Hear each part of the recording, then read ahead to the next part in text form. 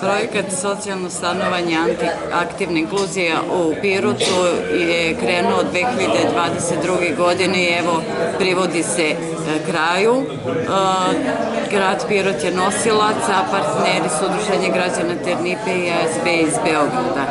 Uh, ideja tog multisektorskog tima koji je prosto prvo je planirao ovo projektnu ideju pa do realizacije jeste da se obezbedi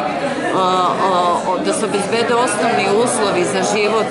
najosetljivoj kategoriji u ovom slučaju to je romsko stanovništvo i eto možemo da kažemo da imamo 20 romskih porodica u Pirotu koje su dobile podršku. Jedna podrška je bila u okviru stanovanja, odnosno dobili su podršku za adaptaciju i adaptirani su im objekti u zavisnosti od njihovih zahteva. Druga komponenta jeste socijalna inkluzija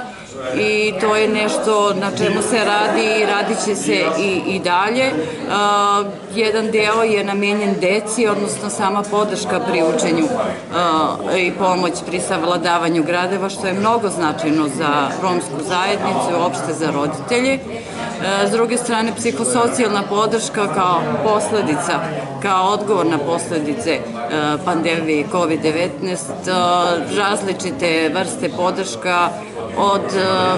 pomoći upućevanja ka zdravstvenim centrima, zatim ka pronalaženju posla, ka pokretanju sobstvenog biznisa, ka nekim zajedničkim kreativno-edukativnim učešćem u radionicama. Prosto ceo projekat želi da zaokruži priču da 20 porodica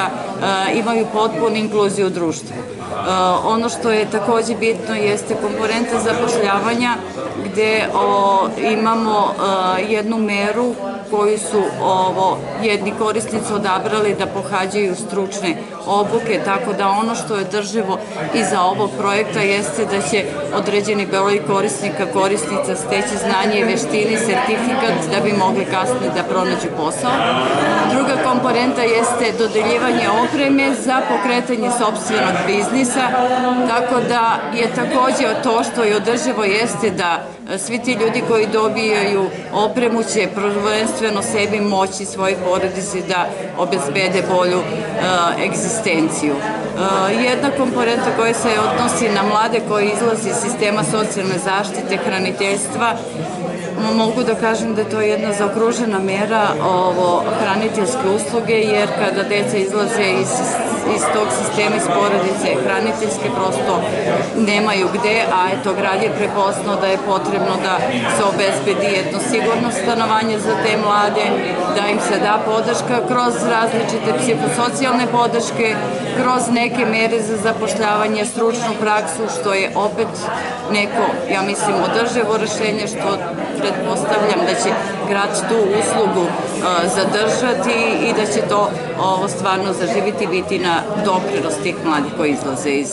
hraniteljske porodice.